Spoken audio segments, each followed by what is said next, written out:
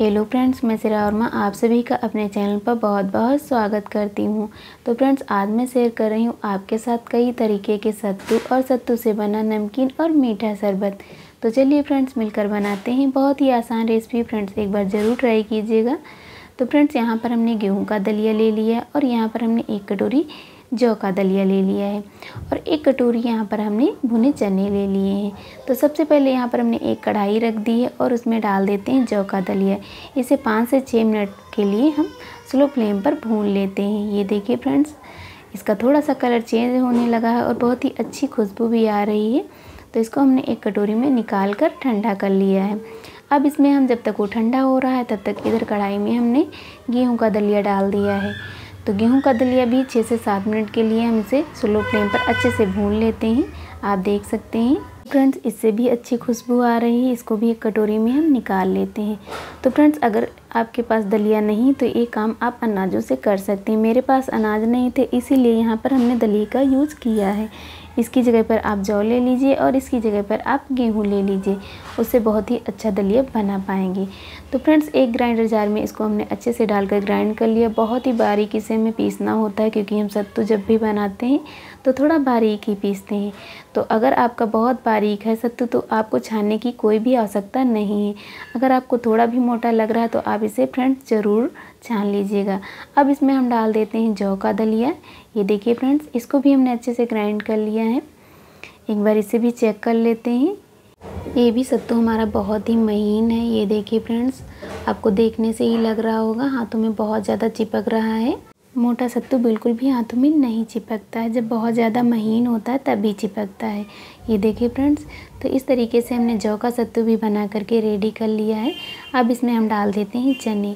तो चने का भी फ्रेंड्स, हमने सत्तू बना करके रेडी कर लिया है। आप देख सकते हैं, ये भी हमारा बहुत ही बारीक सत्तू पीस करके रेडी हुआ है। आप देख सकते हैं। आपको देखने से ही लग रहा होगा कितना ज़्यादा ये बारीक है। तो इसे भी एक कटोरी में हम निकाल लेते हैं। और ये इतना अच्छा सत्तू होता है, आप इसे किसी भी एयर टाइट कंटेनर में भर कर रख लीजिए और दो महीने तक इसे इंजॉय कर सकते हैं। ये बिल्कुल भी ख़राब नहीं होगा। तो फ्रेंड्स, यहाँ पर हमने गेहूँ का सत्तू दो चम्मच एक कटोरी में हमने डाल दिया है। इसमें थोड़ा थोड़ा पानी डालकर इसे अच्छे से हम घोल लेते हैं। कोई भी लम्स इसमें नहीं रहने चाहिए।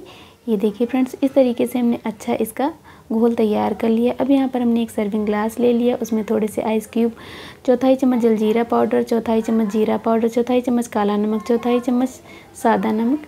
अब इसमें हम डाल देते हैं सत्तू। ये देखिए फ्रेंड्स, अब इसमें हम डाल देते हैं ठंडा पानी। थोड़े से आइस क्यूब हमने पहले ही डाल दिए थे, आधा नींबू इसमें हम निचोड़ देते हैं। और इसे अच्छे से मिक्स कर देते हैं। ये देखिए फ्रेंड्स हमारे गेहूँ के सत्तू का बहुत ही अच्छा शरबत ठंडा ठंडा रेडी हो चुका है। पुदीने के पत्ती से इसे हम गार्निश कर देते हैं। पीजिए और फ्रेंड्स इंजॉय कीजिए। अब हम बनाते हैं जौ का सत्तू।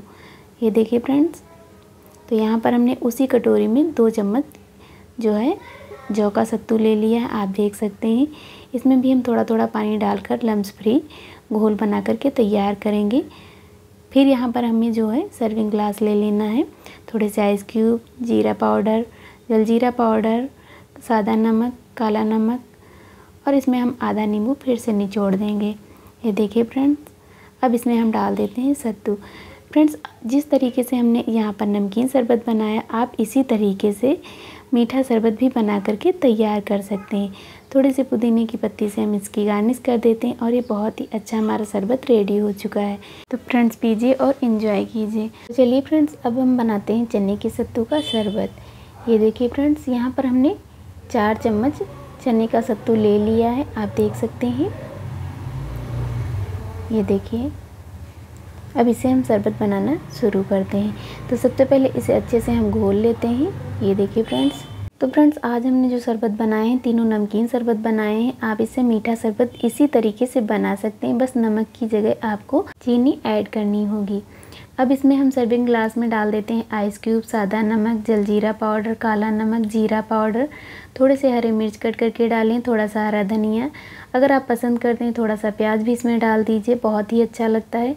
और आधा नींबू का रस डाल देते हैं। अब ये घोल जो हमने बना करके तैयार किया था, वो घोल इसमें हम डाल देते हैं। अब ठंडा ठंडा पानी इसमें हम मिला देते हैं। फ्रेंड्स, बहुत ही अच्छा हमारा सत्तू का शरबत बन करके रेडी हो चुका है। इस तरीके से आप बनाकर ज़रूर पीजिए, आपको गर्मियों में बहुत ज़्यादा ठंडा पहुँचाएगा। थोड़ा सा पुदीना भी इसमें हम डाल देते हैं। ये देखिए फ्रेंड्स, और इस शरबत को आप बच्चों को भी पिला सकते हैं। बहुत ही फ़ायदेमंद होता है, ये लू से बचाता है, पेट को ठंडा रखता है। तो फ्रेंड्स, आप इसे ज़रूर पीजिए। अब हम बनाते हैं खाने वाला सत्तू। ये देखिए फ्रेंड्स तो यहाँ पर हमने दो चम्मच जो है चने का सत्तू ले लिया है। अब इसमें हम डाल देते हैं एक चम्मच चीनी। आप अपने अकॉर्डिंग थोड़ी कम ज़्यादा चीनी कर सकते हैं। तो ये देखिए फ्रेंड्स बहुत ही अच्छा हमारा खाने वाला भी सत्तू बन करके रेडी हो चुका है। आप देख सकते हैं, आप भी इसी तरीके से बनाइए और इन्जॉय कीजिए। और अगर हमारी वीडियो पसंद आई तो प्लीज़ वीडियो को लाइक कीजिए।